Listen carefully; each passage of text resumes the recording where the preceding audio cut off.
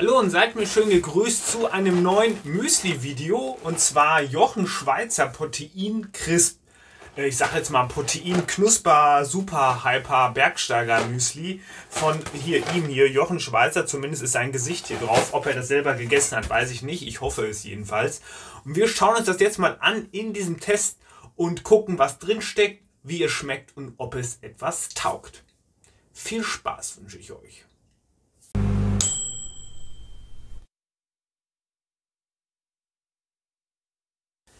Ich musste jetzt gerade zwangsläufig an die Axel Schulz Currywurst und Pulled Pork denken. Es gibt ja viele Promis.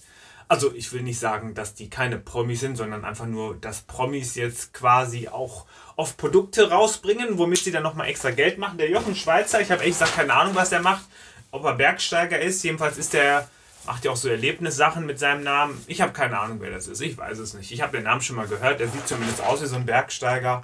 Ähm, ja, vielleicht ähm, ist es. Ja, hier ist auch ein Bergsteiger drauf. Also das wird schon was damit zu tun haben. Extremsportler und Unternehmer, Jochen, da steht ja drauf. X, äh, Jochen Schweizer steht wie kein anderer für außergewöhnliches Erleben. Wow, was für eine Legende. Ich gehe gern an mein Limit. Wow. Die Ernährung spielt dabei eine zentrale Rolle. Ich suche bei meiner Ernährung gezielt nach Lebensmitteln, die aus hochwertigen Zutaten erzeugt werden. Äh, Spoiler, hier ist Weizengluten als Eiweißquelle drin. Die schlechteste Eiweißquelle überhaupt.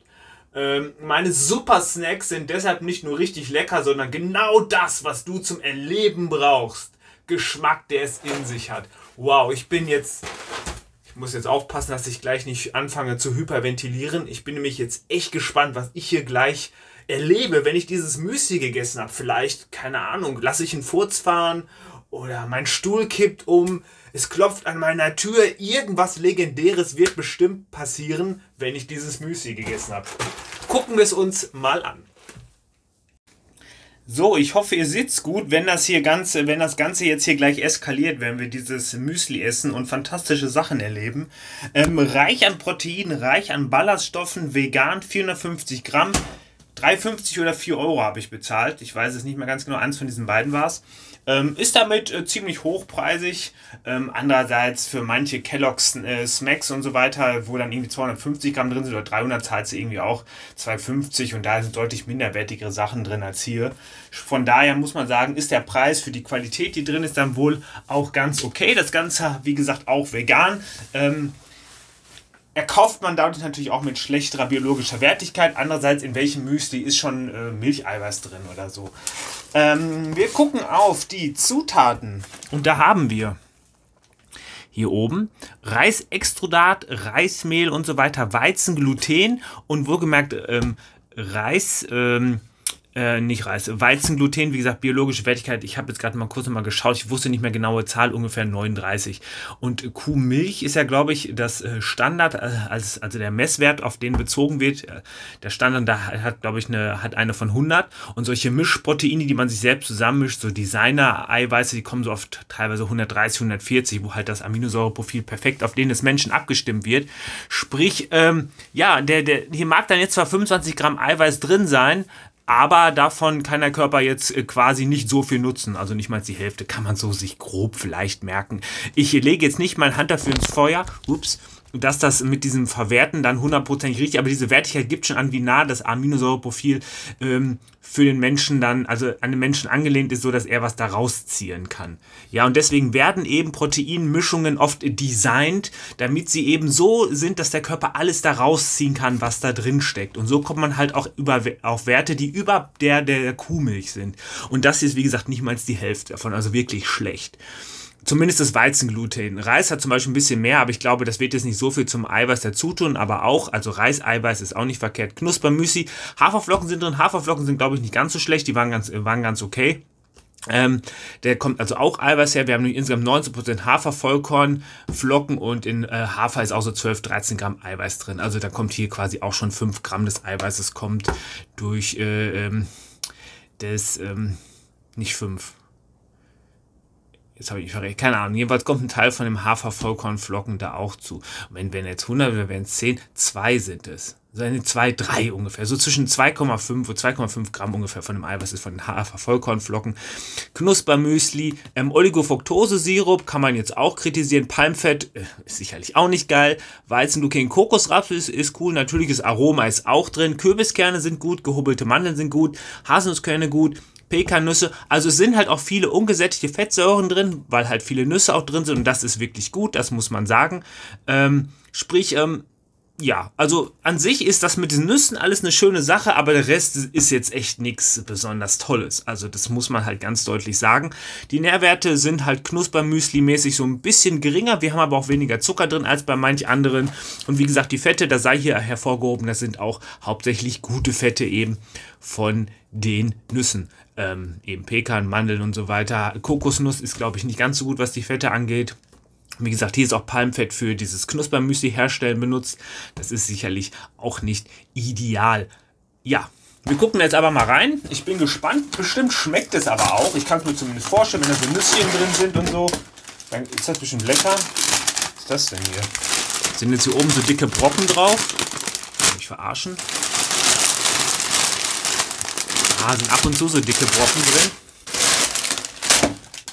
ist interessant. Das ist das Reisextrudat. Ich hole mal hier eine Schüssel. So. Ja, jetzt müssen wir kurz Kamera drehen. So. Und jetzt gucken wir da mal rein. Da hätte sich aber echt ein bisschen Mühe geben können, diese Brocken hier kleiner zu machen. Guckt euch das mal an, was für Monster das sind. Andererseits ist es natürlich geil, wenn man das isst.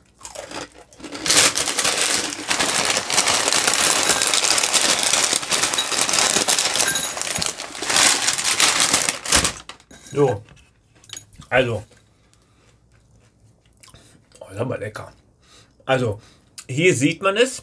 Wir haben hier dieses Reisextrudat, wir haben hier dieses Knuspermüsli, wo auch Reisextrudat drin ist und die Haferflocken, der Zucker. Aber das ist wirklich ein bisschen sehr fett hier.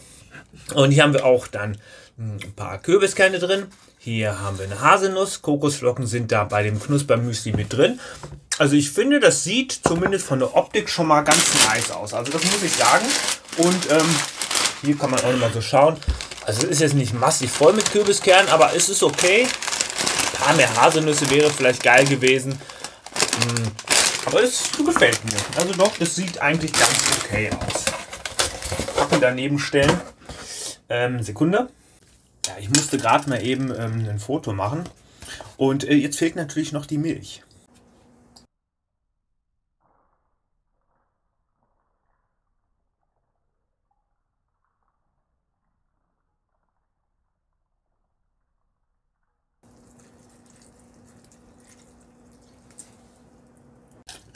Ja, offensichtlich habe ich jetzt ein bisschen gesaut. Es passiert manchmal.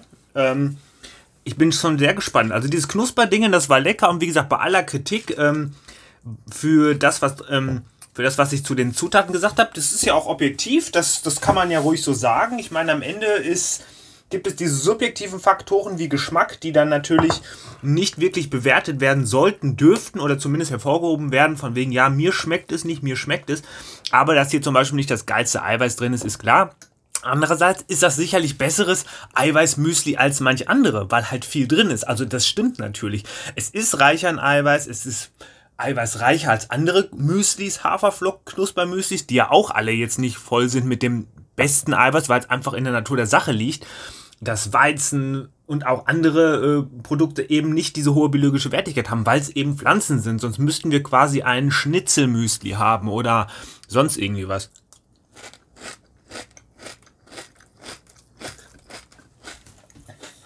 Die hat jetzt hauptsächlich sehr knusprig, dieses Extrudat. Es ist recht neutral. Da ist nur sehr wenig Zucker. Ich muss mal kurz ins Telefon gehen.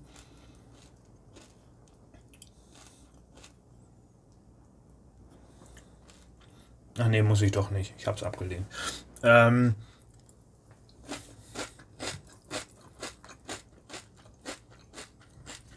also das ist sehr neutral vom Geschmack, muss ich sagen.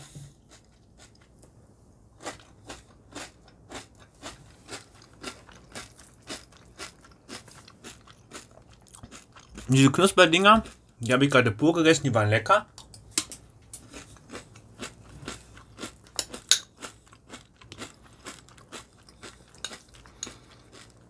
Das mit den ähm, Kürbiskernen, das ist wie gesagt eher so ein bisschen nebenbei.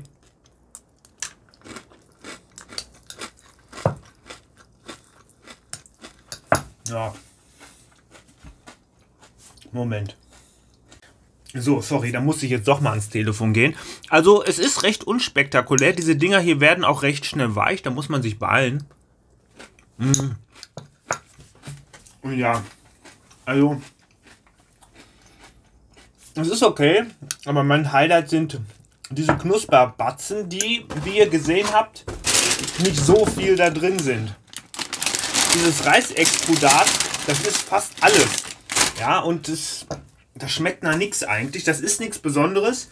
Ähm, klar, man will jetzt ja ein Healthy Müsli haben, da kann man die nicht mit Zucker vollbomben.